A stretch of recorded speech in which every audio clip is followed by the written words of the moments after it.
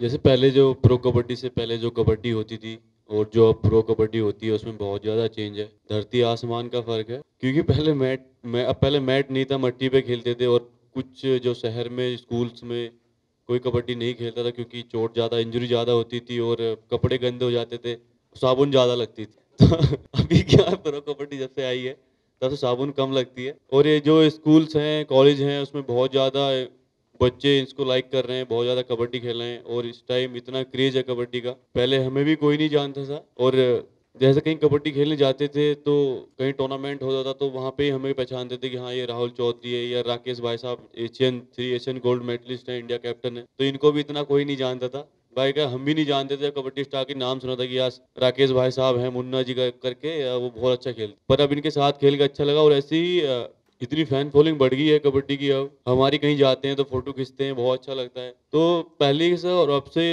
कबड्डी देखी जाए तो सातवें आसन में पहुँच गई है कबड्डी।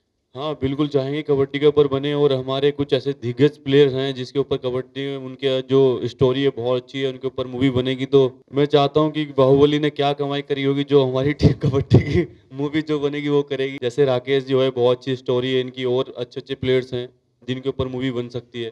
तो मैं तो चाहूँगा कि हाँ कबड्डी के ऊपर भी कोई मूवी बने। बस मैं तो यही चाहूँगा कोई भी एक्टर चलेगा, बस कबड्डी की मूवी बनी चाहिए, वो तो एकदम हिट ही जाएँगे, क्योंकि पता है जो भी हीरो उसको बनाएगा एक्टर बनाएगा, वो खुद ही सुपर स्टार बन जाएगा फिर से। देखो जी, ये हमारी तेलुगु टाइटन की शुरू सीज़न से चलती आ रही है, क्योंकि कभी तीन मैच लगातार हारती आ रही है, और उसके बाद जो स्टार्टिंग होती है तेलुगु टाइटन्स की, वो बहुत अच्छी करती है।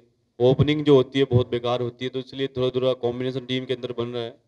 बस जो मैच हारने थे हार गए आगे ऐसे निराश नहीं करेंगे अपने फैंस को। और अच्छी प्लानिंग करके अब गेम खेलेंगे क्योंकि थोड़ी थोड़ी शुरू में स्टार्टिंग करते हैं, सब नए प्लेयर्स हैं, अगली टीम को भी सब नए प्लेयर्स हैं। तो आई नो पता नहीं चल रहा है कि कौन क्या कर रहा है।